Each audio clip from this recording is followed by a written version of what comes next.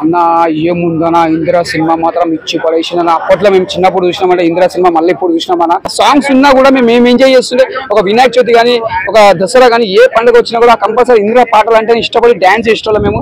అంత మంచి songs compose చేసిన మన మనిషి ముందుగా హ్యాట్సాప్ చెప్పాలి. అంటే ప్రతి స్టైల్ ప్రతి ఒక వీణా స్టెప్ కానీ ఇట్లా. అంటే ప్రతిదీ ఒక డిఫరెంట్. అంటే చిరంజీవి ఒక వీణా స్టెప్ తీసుకోండి. ఇట్లా తీసుకోండి. ఇట్లా అని ఇట్లా ఇట్లా. ఇట్లా ప్రతి స్టైల్ ప్రతి ఒక్క డైలాగ్ అని స్టైల్స్ కానీ అప్పుడు one seventy five days fifty days అసలు చిరంజీవి సినిమా అంటే ఒక చరిత్రలా నిలిచిపోయిన సినిమానా? అసలు బ్లాక్ బాస్టర్ మేము చెప్పొచ్చు.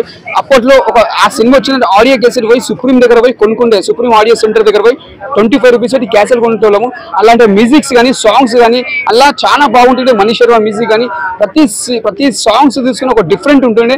అంటే ఇంకోటి బి గోపాల్ గారు దీనికి ఒక డైరెక్షన్ నిజంగా ఇచ్చి పడేసిండు. అంటే చాలా మంది ఏమనుకున్నారు అంటే మన సమరసింహారెడ్డి ఒక నరసింహారెడ్డి ఒక బాలకృష్ణకి ఇలాంటి సాధ్యమైతే అనుకున్న సమయంలో ఒక మన బి గోపాల్ గారు మన చిరంజీవి గారు దించి మెగాస్టార్ చిరంజీవి గారు. అంటే మెగాస్టార్ సార్ ఈ సినిమాలో కూడా ఒక డైలాగ్స్ కూడా ఒక చిన్న చిన్న సింపుల్గా చెప్పేస్తాడు అంటే ఒక ఓవర్ కాన్ఫిడెంట్ చెప్పకుండా ఒక సింపుల్గా నేచురల్గా డైలాగ్స్ కూడా చాలా బాగుంటాయి. వీర శంకర్ రెడ్డి. బొక్కే కానీ వీసే పీక కోస్తా.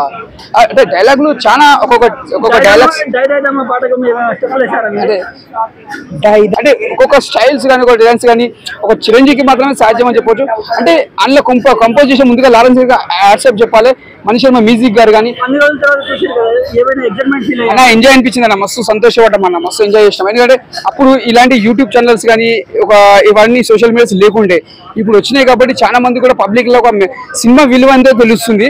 అదే ఒక సినిమా దాన్ని ఎంత ఎంత అప్పట్లో ఎంత ప్రేమించేదో సినిమాకి అంటే ఒక ఇందిరా కాదు ప్రతి ఒక్క సినిమాలు ఇప్పుడు ఇది ప్రీ రిలీజ్ సినిమాలకి మనం ఎంత రెస్పాన్స్ ఇస్తున్నాం ఒక ముందుగా యూట్యూబ్ ఛానల్ హ్యాట్సాప్ చెప్పాలి. సోషల్ మీడియా అనేది ఎక్కువ తీసుకుపోతారు ఒక యూట్యూబ్ ఒక కొత్త కొత్త మూవీ రిలీజ్ సినిమాలకి. ఎందుకంటే అప్పట్లో ఒక జెమిని టీవీ తేజ ఈటీవీ తప్ప వేరే అవే ఉంటుండే. ఇప్పుడు ప్రతి యూట్యూబ్ ఛానల్స్ ఒక మూవీ అంటే ఒక రెస్పాన్సిబుల్ ఒక ఫ్యాషన్ అన్నట్టు ఒక ఛానల్స్ వాళ్ళు తీసుకొచ్చారు.